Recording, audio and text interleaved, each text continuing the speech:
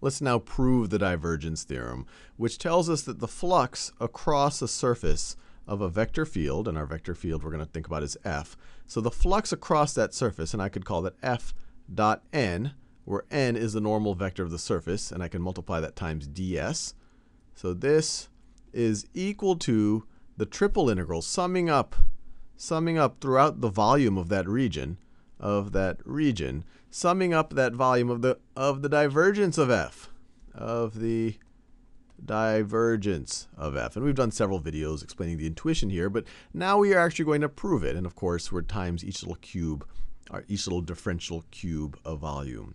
And we're going to make an assumption here. We're going to assume that we're dealing with a simple solid region. Simple, simple, solid, solid region. And what this means more formally is that the region we're thinking about can be a type 1, type 2, and type 3 region. Or I should say it is all of the three. So it is types, types 1, 2, and 3. And there are videos that go into what each of these regions are, but a lot of the basic shapes fall into this simple solid region, like a sphere or a cylinder of some kind. They can be types 1, type 2, and type 3. And for a lot of situations that aren't simple solid regions, you can break them up into simple solid regions. But let's just prove it for this case, for this case right over here. So let's just assume that our vector field f, our vector field f can be written as p, which is a function of x, y, and z, times i, plus q, which is a function of x, y, and z, times j, plus, plus r, which is a function of x, y, and z, times, times k. So let's think about what each of these sides of the equation would come out to be. Well, first of all, what is going to be f dot n? So let's think about that a little bit. f dot n, f dot n, f dot n is going to be equal to this, this component right over here times n's i component plus this component right over here times n's j component plus this component here times n's k component. So we could write it as, this is could it could be written as p times, p times, or I'll just write p open parentheses, the dot product of i and n, i, i dotted n, i dot dotted n, and let me make sure I write i as a vector, as a unit vector. I want to be clear, what's going to happen right over here? If you take the dot product of i and n, you're just going to get the i component, the, the, the, the scaling factor of the i component of the n normal vector, and we're just going to multiply that times p. So it's exactly, so that's essentially the product of the x components, or I guess you could say the magnitude of the x components.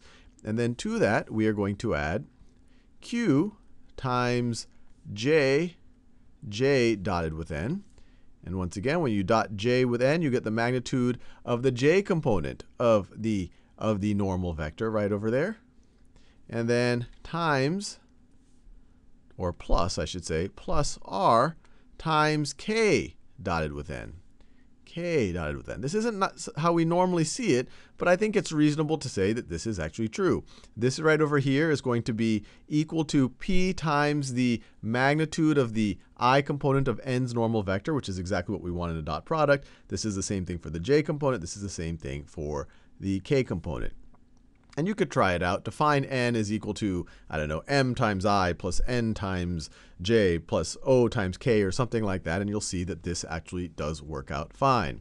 So what would, how can we simplify this expression right up here? Well, we can rewrite this as, we can rewrite the left-hand side as, so the surface integral of f of f, now let me write it multiple ways, f dot ds, which is equal to the surface integral, f, the surface integral of f dot n times the scalar ds is equal to the double integral of the surface of all of this business right over here is equal to the double integral over the surface of, let me just copy and paste that, of all of that business. So let me copy and then let me paste. So all of that, all of that business right over there. And I just noticed that I forgot to put the little unit vector symbol, the little caret right over there, put some parentheses, put some parentheses, and then we are left with our ds. And then this, all of this can be rewritten as, this can be written as the surface integral of p times this business, and I'll just do it in the same color, of p times the dot product of i and n ds plus the surface integral of q times the dot product of j and n ds plus the surface integral of r times the dot product of k and n. I forgot a caret. k and n ds. So I just broke it up. We were taking the integral of this sum, and so I just took it as, I just rewrote it as the sum of the integrals. So that's the left-hand side right over here. Now let's think about the right-hand side. What is the divergence of f? And actually, I'm going to take some space up here. What is the divergence of f? Well, the divergence of f based on this expression of f is just going to be, so let me just write it over here real small. The divergence of f is going to be the partial of p with respect to, let me do this in a new color. It's because I'm using that yellow too much. The divergence of f. The divergence of f is going to be the partial of p with respect to x plus the partial of q with respect to y plus the partial of r plus the partial of r with respect to z. So we can, this second, or this triple integral right over here could be written as the triple integral of the partial of p with respect to x plus the partial of q with respect to y plus the partial of r with respect to z. Well, this thing, once again, instead, of writing it as the triple integral of this sum, we could write it as the sum of triple integrals. So this thing right over here can be rewritten as the triple integral, triple integral over our three-dimensional region. Actually, let me copy and paste that so I don't have to keep rewriting it. So let me copy it. So it's going to be equal to the triple integral of the partial of p with respect to x dv plus, let me paste that again, the triple integral of the partial of q with respect to y dv plus, once again, triple integral, triple integral of the partial, the partial of r with respect to z, partial of r with respect to z dv. So we've essentially restated, restated our, our divergence theorem.